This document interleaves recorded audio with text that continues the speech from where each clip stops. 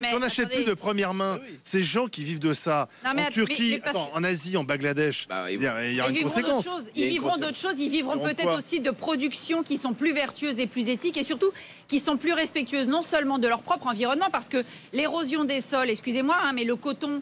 Euh, c'est pas en, en Europe qu'on le produit. Donc l'érosion des sols, là où on produit du coton pour fabriquer, c'est pas du coton bio machin. Les, les- toutes les, les ressources synthétiques, pétro-sourcées, pourries pour les textiles, pour les teintures. Quand vous avez aujourd'hui des chaînes de magasins que je ne nommerai pas, qui font jusqu'à 36 collections par an.